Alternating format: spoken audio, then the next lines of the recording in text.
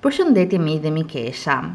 Sot do të flasim për përdorimin e gjuhës, sepse tani është koha për t'u futur në brendësi të gjuhës italiane, pasi pam nyjet dhe shqiptimin e gërmave. Le të fillojmë. Saluti, përshëndetje. Para se të fillojmë këtë përshëndetjet, duhet të dimë diçka. që në çdo gjuhë, si në italisht, në shqip, në anglisht, kemi dy lloje mënyra të së shprehurit. Kemi mënyrën zyrtare, që në italisht është formale, kur i drejtohemi dikujt që është më i madh se ne, më falni, ose mësuesit ose dikujt në që është ka pozita më të larta se neve dhe i drejtohemi në mënyrën e mirësjelljes me ju. Kurse informale është regjistri i ulët që i drejtohemi vetëm kur jemi me midis miqve. Pra, Në mënyrën zyrtare kemi këto përshëndetje, Per salutare una persona si dice, Për të përshëndetur një person thuhet, Buon giorno, mirëdita, di mattina, pra e përdorim në mëngjes, Buona sera, mirëmbrëma, di pomeriggio e sera, e përdorim në pasdite dhe në mbrëmje. Buona notte, natën e mirë, solo quando si va via o si va a letto, e përdorim vetëm kur ikim ose shkojmë për të fjetur, për të shkuar në krevat. Arrivederci, mirupafshim, sempre, e përdorim gjithmonë, ma quando si va via, gjithmonë kur ikim. Ciao! Ciao. Uh, sempre ma solo tra gli amici, gjithmonë, po vetëm e përdor midis miqve. Pra deri nga buongiorno të arrivederci ishte mënyra zyrtare dhe ciao mënyra jo zyrtare informale. Forme di cortesia, mënyra të mirësjelljes. Dopo il saluto di solito si aggiunge.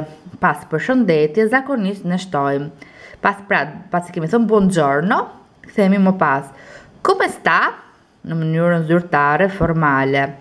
E, e si risponde dhe përgjigjemi gjithmonë në mënyrën zyrtare ose formale, discretamente ose non c'è male, që domethënë jo keq. Pra mënyra formale. Kur ciao, pasi kemi thënë ciao, themi come va? Në mënyrën jo formale, informale, edhe përgjigjemi bene grazie, kur flasim midis miqve.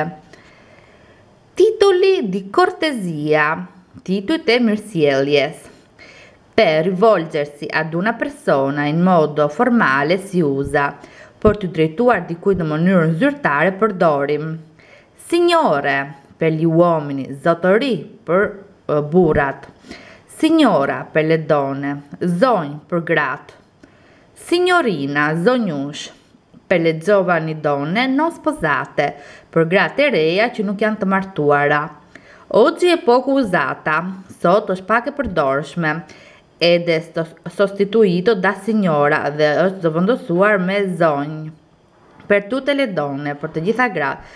Pra, si për gratë e martuara dhe të pamartuara, tani përdoret gjerësisht signora. Questi titoli possono essere seguiti dal nome o dal cognome della persona. Këto tituj mund të ndiqen nga emri ose mbiemri i personit. In questo caso, në këtë rast, signore diventa signor, pra në këtë rast, fjala zotëri përdoret bëhet zotëri. Pra ne në shqip nuk e kemi këtë, por në italisht i heqim e-në, pra kur do themi emrin e dikujt të, të personit, nga signore do themi signor. Pra, nuk themi signore Kalvezi, po themi signor Kalvezi kur përdorim mbiemrin nga mbrapa. Vetëm për burrat kjo. Pra themi signora Bianchi, signorina Clara. Nella forma uh, scritta si abbrevia in. Në formën e të shkruarit ne shkurtojmë në.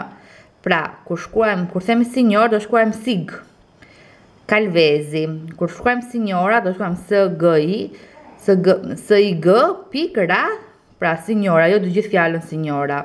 Kurse signorina S I G pikë N A, signorina që kuptohet signorina Clara. Pra, kjo është edhe mësimi i sotëm që folëm për përshëndetjet në gjuhën italiane. Në qoftë se keni ndonjë pyetje ose ndonjë paqartësi, mund t'i lini në komentet e mëposhtme. Faleminderit për vëmendjen dhe mirudëgjofshim në mësimin tjetër.